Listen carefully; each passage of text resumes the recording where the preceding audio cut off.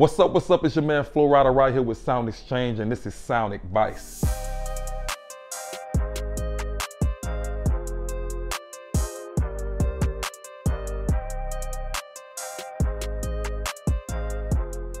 I'm preparing for a party. I really don't call it a show. I call it a party because I might get a bit nervous. But when you talk about a party, I'm from Miami. A lot of parties around the world happens.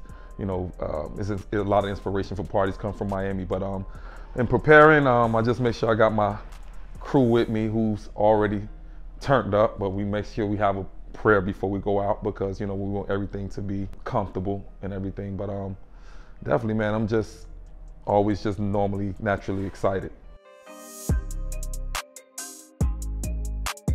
As far as collaborations, I'm, I'm, always excited about the passion first and foremost. But you know, we're working with David Guetta, working with you know will.i.am, um, the Timbalands, the Lil Waynes. I'm always excited because these are people that I look up to, who inspired me. So you know, just going in the studio, I already know they're gonna have their A game up. So I just make sure that I put in the time and I put some thought and some creativity in, you know, trying to at least kind of match their energy.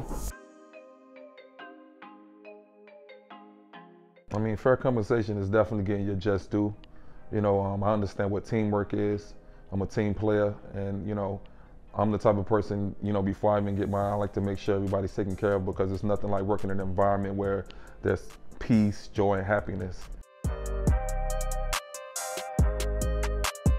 Just continue to be passionate with the music. Um, continue to put family first, and you know, continue to you know understand that as well as I inspire you know, look forward to being inspired. And I think that's what, you know, keeps me grounded, you know, and just keeps me motivated and, you know, looking forward to leveling up.